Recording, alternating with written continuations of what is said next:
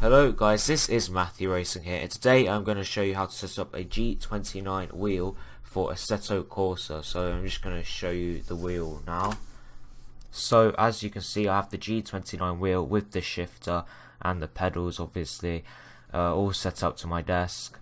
And yeah, I just show you my setup as well. You can see my 144Hz monitor is flickering because it's only 60 FPS video. So yeah, and my old TV there, my PC there. But yeah, I'll show you how to set this up for Assetto Corsa. So in the sim, go to options, then you need to go to controls, and it will put you on this screen, click advanced.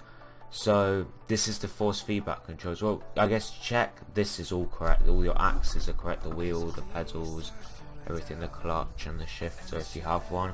So click advanced. These are the settings that I use. Um, a lot of people say you should turn the gain down, but I quite like it a lot. That's just like how hard your wheel is to turn. I should have that on 100%. The filter, um, have that quite high compared to most people, I think. But that's um, that's just how um, that's how much it's gonna like not like it will stop clipping. It will just um, not make it too aggressive. If that makes any sense, which it probably doesn't. It will just um, you know, 26% of it won't be done. I'm pretty sure that's what it means. Minimum force um, I'm not 100% sure what that does. I think it just um, stops like small stuff it happening. It just um, makes it smoother pretty much. Curve effects I have that quite high as well. I just want to be able to feel the curves as I turn you know hit the apex. Like I think that's probably the best setting road effects are very important you want to be able to feel the road feel what your car is doing on the road and yeah slip effects um, I have that on 13%. I think that's an important one because you need to be able to feel when your car is slipping when you're going to start doing oversteer. I that's very important if you want to do drifting, which you'll see me drifting later. That's important. ABS effect as well. I mean, I'm not really sure if that makes much of a difference, but it would just let you feel the ABS. And with the enhanced feet uh, understeer effect, I, I recommend trying that, and then if you don't like it, having it off um, because I I think was supposed to have this on really. I tried it and I just don't like it. I just can't. I just like crash every corner with this on.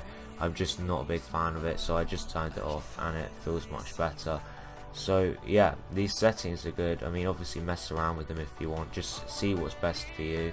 And yeah, I'll show you some gameplay of me driving now. So guys, I'm in an Audi like modified car. I think this went round Le Mans, and I'm doing the Nordschleife. And I just feel like the car feels quite planted. It feels grippy. You can turn in, and when you hit the curb, you can feel the curb. You can feel all the bumps in the road. And when you brake, you can feel like the ABS working.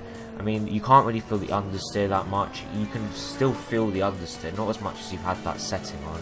I just much prefer it like this and I get I get better times with this setup than the default. I think I got a 705 round the Nordschleife and yeah now you can see me drifting as well and you can just feel the car like all through the wheel feel it slipping and it just feels really nice you know when you let go of the wheel it turns nicely um, yeah there's not much to say about the drifting I'm, if you want I can do a tutorial on how to drift I'm not very good at it but I can do some some okay drifts, I guess.